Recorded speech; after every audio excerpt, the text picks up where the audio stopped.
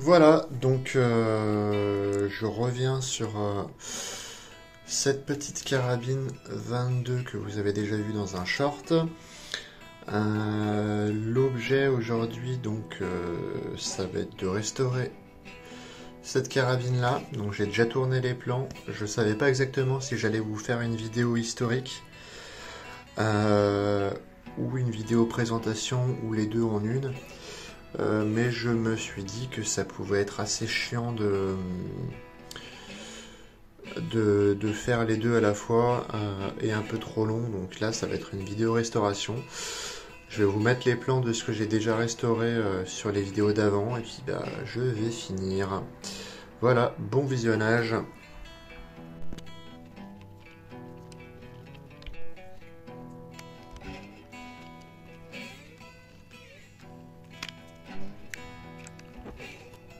Donc voilà, la crosse est démontée. Euh, donc avec euh, pas mal de défauts. Euh, tac. Ça c'est un peu abîmé mais ça a été recollé. Il y a pas mal de rouille dedans. Il y en a aussi beaucoup ici. Donc étape de restauration de la crosse. Voilà, il fait un peu sombre, mais l'idée c'est d'enlever le, vernis de la crosse. Alors est-ce qu'on voit quelque chose à peu près Je vais euh, mettre un peu de lumière, mais en gros il y a pas mal d'accros ou d'endroits où c'est parti partiellement. Voilà, donc deux parties qui sont pas très belles, qui sont tachées et rebronzées par-dessus. Quelques pocs. Ouais. Et puis surtout la pompe, euh, elle a été, euh, elle a été euh, polie, pardon, poncée plutôt, et, et resserrée. Donc je vais faire pareil de ce côté-là. C'est une demande du collectionneur. Donc je vais commencer maintenant et je vous reprendrai quand j'aurai fini. Voilà.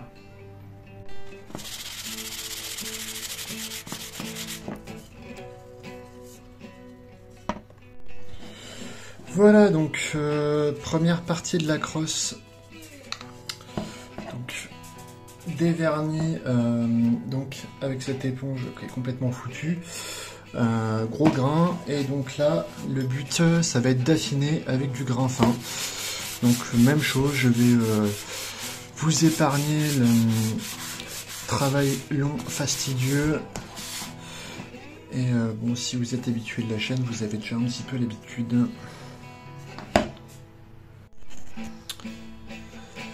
Voici le résultat donc euh, de la première session de ponçage. Euh, ouais, c'est pas mal. Donc là, au toucher, ça n'a rien à voir avec avant. Euh, par contre, c'est beaucoup plus clair. Hein. C'était teinté. Voilà. Donc je vais passer à la cire, je vais huiler et puis entretenir la plaque de couche et remonter tout ça. Alors pour la cire, on va faire ça en deux parties. Euh, donc, vous avez compris, d'abord un côté, ensuite l'autre. Ouais, donc ça vient reponcer le, bois, euh, donc c'est cool, finalement. Voilà. Donc on va patienter une petite demi-heure, comme d'hab. Je fous un coup de chaussette je retourne et on fait euh, le deuxième côté, puis ensuite on lubrifie. Eh bien ma foi, c'est pas super propre tout ça. Euh, même pas sûr qu'il y ait besoin de l'huiler après ça. Hein. Allez, on fait le deuxième côté.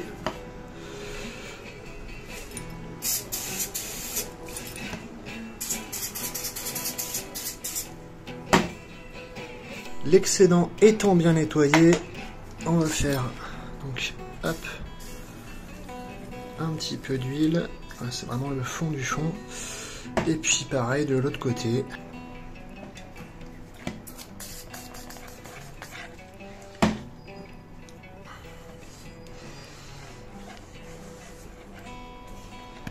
Et voilà le superbe rendu maintenant que c'est euh, poncé, ciré et huilé.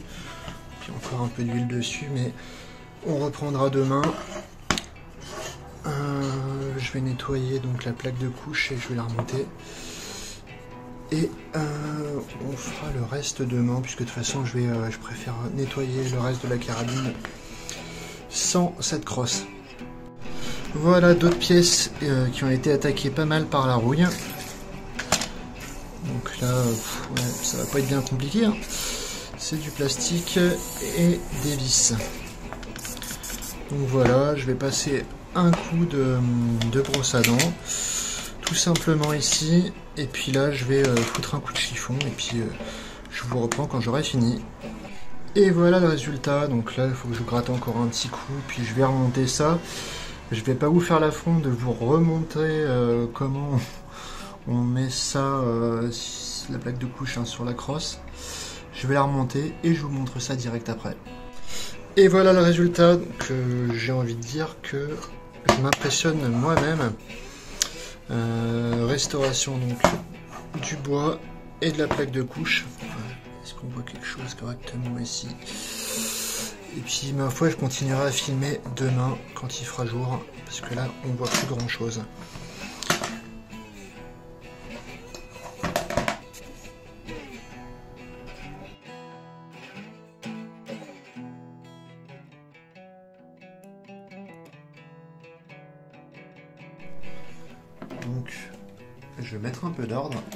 et je vais finir euh, de poncer cette petite euh, pompe. Parce que vous voyez que euh, ça, ça avait été fait, mais seulement à moitié, puisque là dans les coins, c'est toujours un petit peu verni.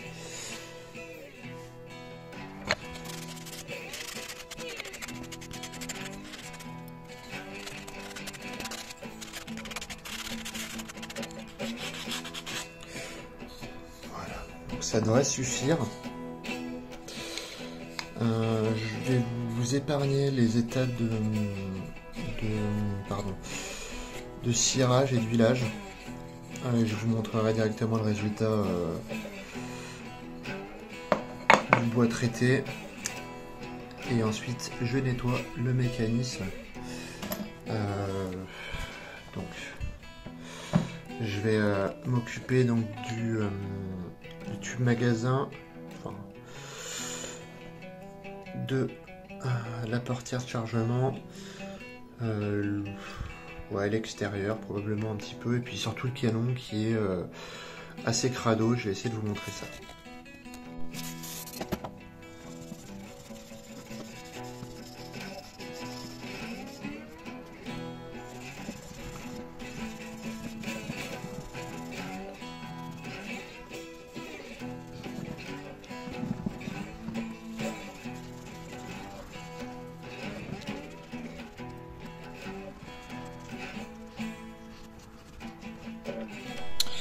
Ah, j'arrive pas à filmer l'intérieur du canon.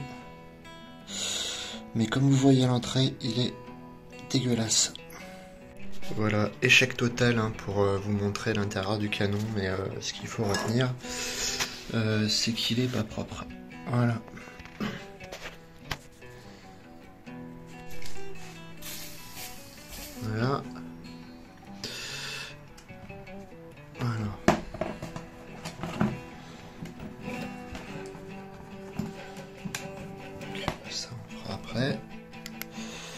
Et ça, hop. Ça va être chaud à faire les mains. Voilà l'idée.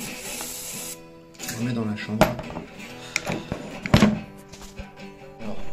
pour faire sortir euh, le tube magasin, faut juste enlever cette petite vis. Euh, je vais pas le refaire. Suffisamment galéré en caméra, enfin hors caméra, pardon. Donc je vais juste huiler un petit peu encore là-dedans. Euh, et ce sera tout. Voilà. Et voilà, c'est tout bon. On referme ça. Et puis après, on va s'occuper du canon et on va remonter. Euh, et ensuite, on lubrifiera le tout.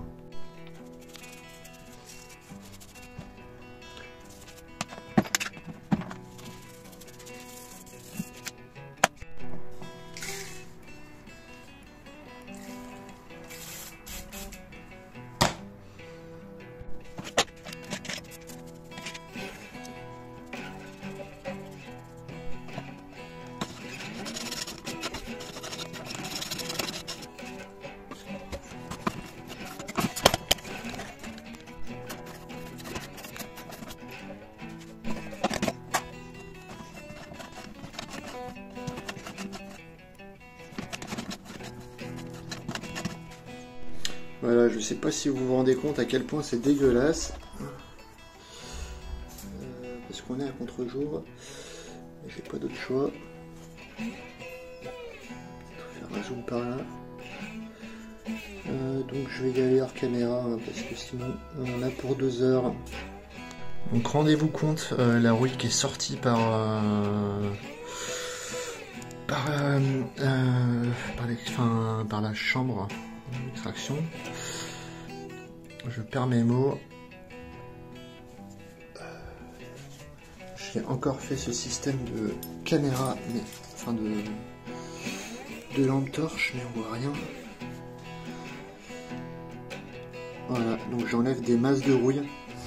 Euh, donc ce que je vais faire c'est que euh, je vais lundi BWD40 et puis euh, vu que le pote le récupère en fin de semaine j'aurai peut-être d'autres projets de tout simplement jusqu'à cette date là je vais le nettoyer au mieux et puis si un jour il veut péter avec il faudra qu'il le renettoie un petit peu dans tous les cas, mais euh, ça va rester assez propre.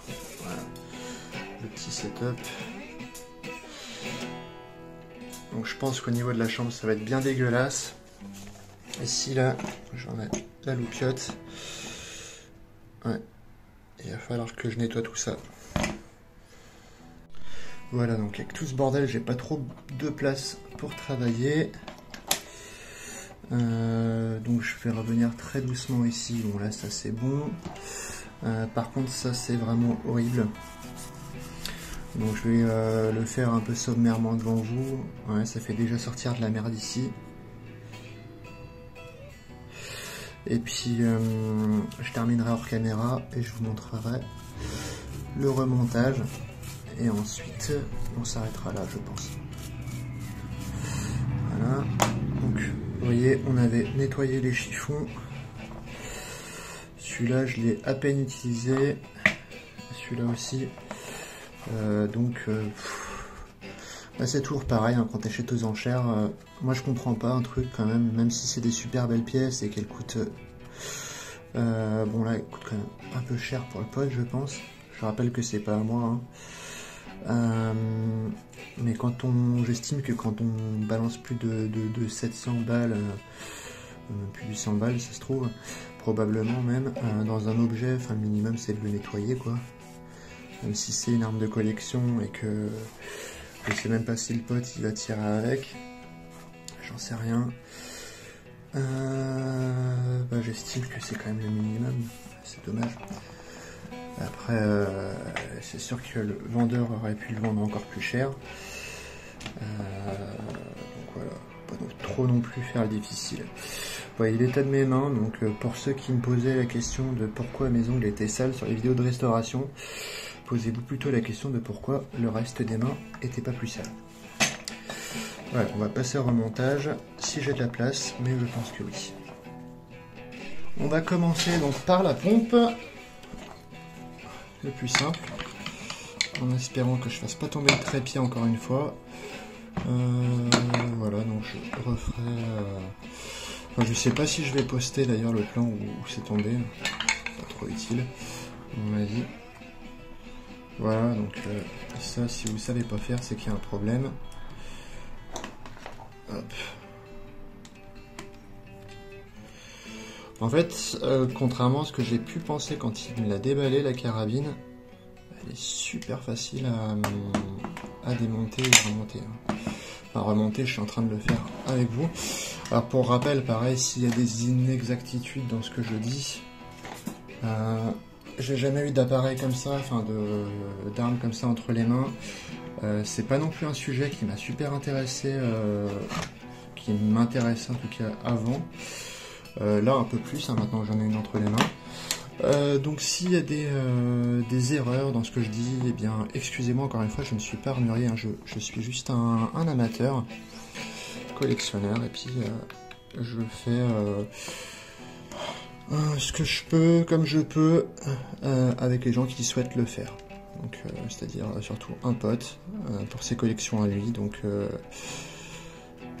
je prétends pas être un pro, en tout cas, je me perfectionne avec les années. pour pour remonter. Remonter cette arme là, c'est vraiment hyper facile. On va pas bourriner. Toujours pareil, hein, il faut éviter. Euh, pour des trucs anciens comme ça, quand ça commence à forcer, là c'est le cas, je fais un quart de tour, max, même pas, et j'arrête. Euh, pourquoi? Pour éviter ce genre de choses. je sais pas si on voit bien, je peux zoomer sans que ça se pète la gueule. Là, le pas de vis, il est à moitié mort. Donc là, elle est remontée. Euh, je vais... hop, je vais passer du lubrifiant sur toutes les parties, mais avant ça, je vais ranger un petit peu les outils pour euh, qu'on y voit un peu mieux. Voilà, donc euh, le premier résultat. Euh, franchement, elle claque, mais alors encore mieux que, quand il l'a reçu. je pense qu'il a bien fait de me la laisser, franchement. après, il pourrait me la laisser encore 15-20 ans, je dirais pas non. donc, un petit peu d'huile des deux côtés. Voilà. Juste histoire de. Euh, ensuite, on enlève l'huile et on met du lubrifiant.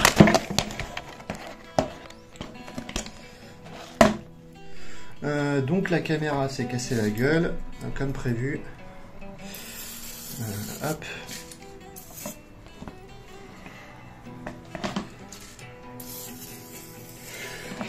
la figure, excusez-moi.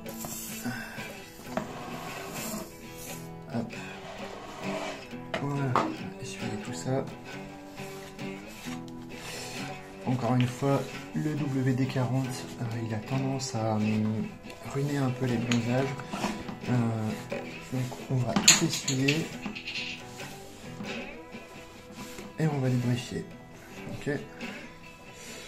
Euh, donc il nous reste la crosse. Le bois.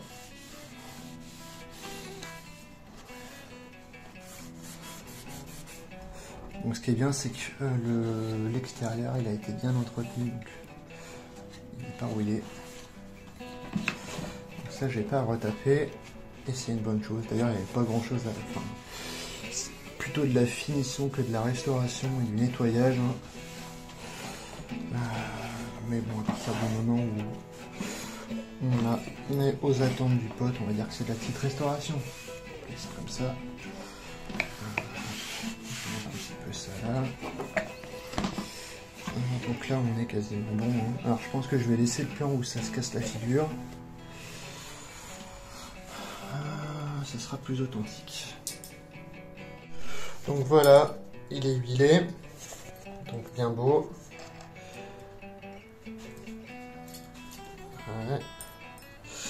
Et maintenant, on va lui coller un coup de lubrifiant en espérant que cette fois ça tombe pas.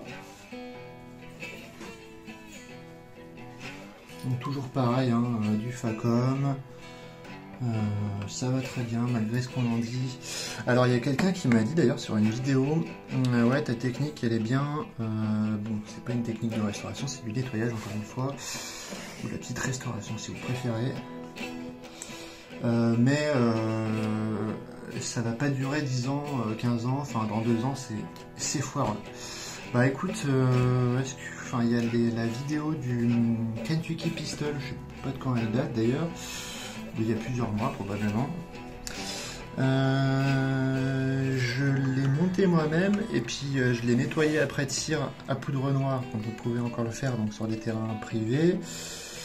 enfin je crois qu'on peut toujours, mais en tout cas moi j'en fais plus. Euh, je sais pas, il faudra regarder. En tout cas, le de s'inscrire dans un club de tir, je digresse.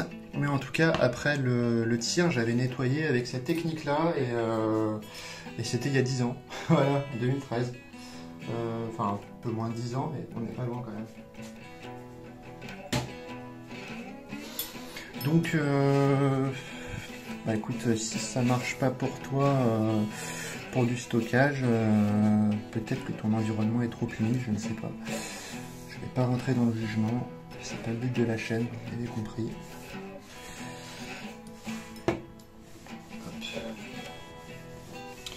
Après, je vois qu'il y a de plus en plus de, jeunes, enfin moi je suis pas bien vieux, mais euh, de personnes encore plus jeunes que moi qui commencent à s'intéresser aux, armes anciennes. Euh, bah, c'est quand même vachement bien, je trouve. Alors, donc là, il est lubrifié, et je vais arrêter de raconter ma vie. Alors, je sais pas du tout ce que ça va rendre cette vidéo, je l'ai tournée un petit peu comme je pouvais. Euh, donc je ne sais pas. je viens de l'essuyer. Et je pense que c'est quand même bien parti.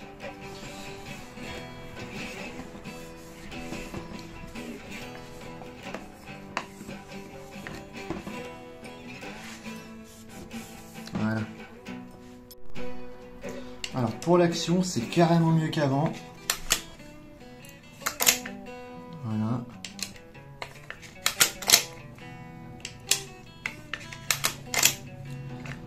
Il y a encore un petit peu de merde dedans, mais euh, rien de bien méchant. En tout cas, ça accroche mieux, euh, enfin un tout petit peu mieux au, niveau de la pompe, au niveau du chien. Ça reste ferme, voilà, ça bouge pas euh, facilement, mais c'est plus sensible. Donc ça c'est cool s'il veut tirer avec encore une fois. Et puis même pour son état de préservation générale, je trouve assez cool comme ça. Donc là, je crois qu'on est vraiment bon de chez bon. Euh, donc euh, je pense que la partie historique, je vais vous la mettre après, parce que là, ça traîne, ça traîne. Euh, et vous aurez des images avant restauration et après restauration, il ne faudra pas vous inquiéter. J'ai fait les choses dans le désordre, c'est comme ça. Et puis ça aura duré à mon avis déjà bien assez longtemps. Je sais pas depuis combien de temps je filme. Je sais pas ce que je vais garder exactement non plus. Euh, je sais même pas si je vais pas enregistrer ce que je raconte. Ou alors on va rester naturel. Et c'est tout. Voilà. Donc petite restauration réussie, hein, je crois, euh, sans problème. Que le pote sera content. Là, j'ai même fait ton laiton.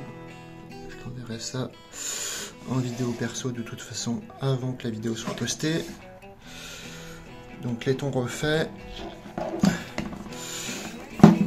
Hop, même ici. Euh, canon à peu près nettoyé.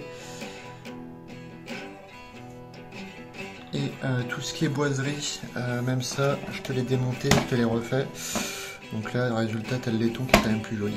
Voilà.